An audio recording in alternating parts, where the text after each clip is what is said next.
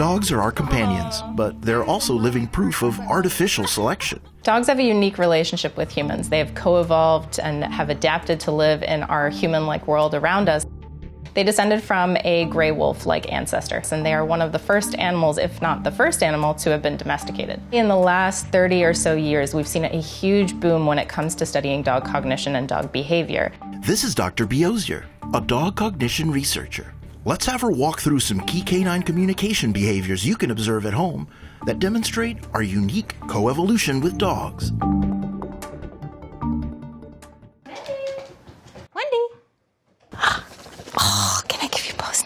This movement that you see in your dog's eyes when they look at you, when they gaze up, staring at you lovingly, wanting snacks. We call it puppy dog eyes, but in fact, this is the eye musculature that we see more defined in the dogs we have in our homes. And particularly, we see this through the levator muscles that they have located just around their eyes. It gives them more control, in a sense, over how they move their eyes. So we can be very expressive in how we move our eyebrows, just using them in conversation, lifting them up and these muscles that are more present in our dogs that we have at home, it allows them to kind of wiggle those little spotty dotty hairy bits that they have right above their eyebrows, potentially making them more expressly communicative or potentially just making them a little bit more manipulative to get more snacks. A 2019 study compared these upper eyelid muscles and found that they were much more prominent in dogs than in wolves, except the Siberian Husky, which is more closely related to wolves.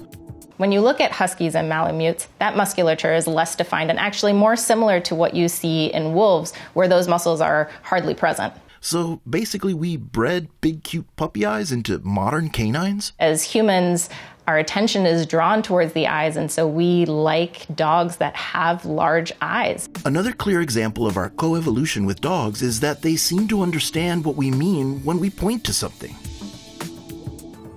Research currently suggests that dogs outperform every other living species on the human given pointing task. Two choice object discrimination task is typically what's done to evaluate pointing comprehension in dogs. And you can actually try this at home with your own dog. The idea is that you have two containers, both of which have treats taped on the inside so they smell equally like food. However, one of them will have an additional treat on the inside for the dog to obtain. Human experimenter will sit directly in front of a dog and give a gesture. Then then you let the dog make a choice the one with the snack that you've pointed to, or they can pick the other one. Andy.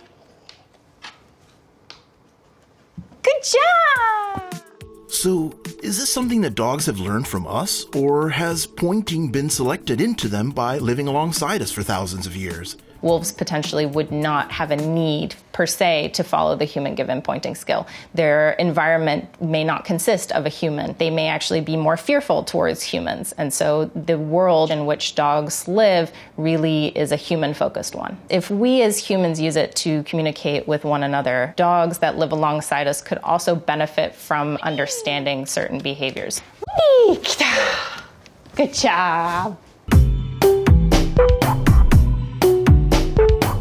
Eye contact is extremely important in humans. It's where we automatically first look when we look at other individuals, and the eyes are extremely communicative. This is something that is kind of unique in the sense that many animals don't expressly like making eye contact. However, if you were to try to sit at home and look at your dog and stare lovingly into their eyes, odds are is that they'll look back at you. So we have a very cool feature, which is that our whites around our eyes, known as the sclera, they are white, and this means that when you look from side to side, that you can start to identify things like where an individual is looking. This can be really important for communication, and it's actually something that dogs have seemingly picked up on. One way to show this clearly is the impossible task experiment. You have a Tupperware container filled with a toy, and you don't lock the lid on the Tupperware container in place. Let your dog explore, have them sniff it out, check it out, and obtain whatever reward you've placed in there. You keep doing this a couple of times just to make sure that they can get the snack and that the reward is solvable. However, when it comes to the test trial in the unsolvable paradigm, the idea is that you lock the Tupperware lid in place so that the reward is no longer accessible. And you let the dog go and you try to see what do they do. And what happens with a lot of dogs is that they actually sit down and will wait for someone to help them out and will make eye contact with someone who's available to make eye contact. Researchers have long documented that dogs understand when a human is focusing their attention on them. You can try this at home. You can grab a snack, place it in front of you with your dog directly across, ask them to wait, leave it, stare at them, see what they'll do. Give them about 10 seconds, I would say, and see if they approach you. And if they don't, let them come and eat the snack. Okay. Then I would do this again, put the snack on the ground, but turn around and give them another 10 seconds and see if they actually eat the snack.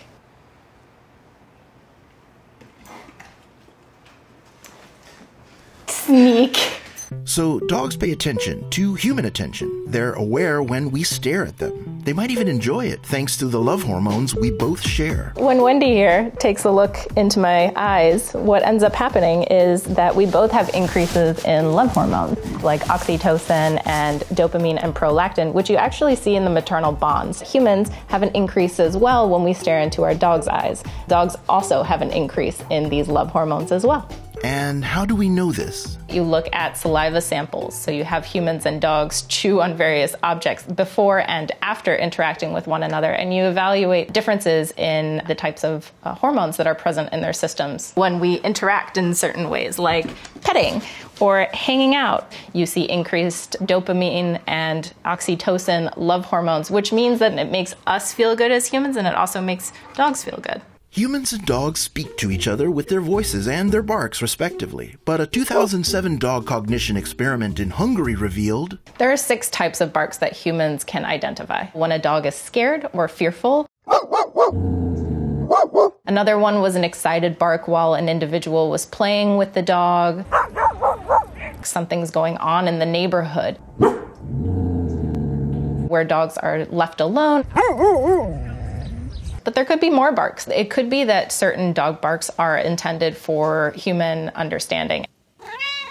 Cats meow not to talk to other cats, but essentially to talk to humans. Wolves are more likely to howl in a certain way and are less likely to bark. And so it could be that that barking that you hear at home is actually something that is really intended for you as the owner.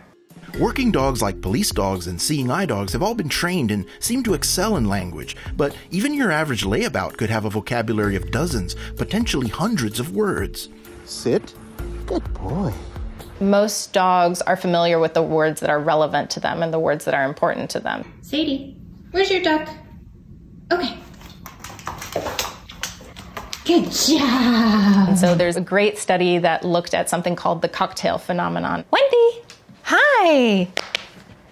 Hi. So when you call over Wendy in a crowded room, the idea is that Wendy also pays attention. Just like if someone were to call my name in a crowded room, my interest is piqued and I peek up, just like Wendy does when she hears her name in a crowded area. So, what about these TikTok dogs like Stella or Bunny who seem to string together human speech by pressing a specially designed voice pad?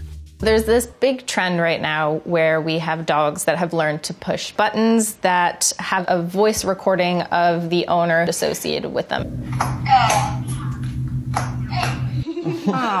But like, you know, did she actually poop outside or something? You know, like you were saying, it would just be nice to have a bit more context to these just so we know like what comes before and what comes after. Yeah. When they string words together, I don't think we have enough evidence right now to say that they're understanding the grammar and the syntax that's associated with what those words mean. However, this could be something that over time we learn is actually what they're doing. So, are we as humans with our breeding practices artificially selecting for dogs with certain traits? Or is this something that they're able to learn easily in very early stages of life and throughout their individual lifetimes?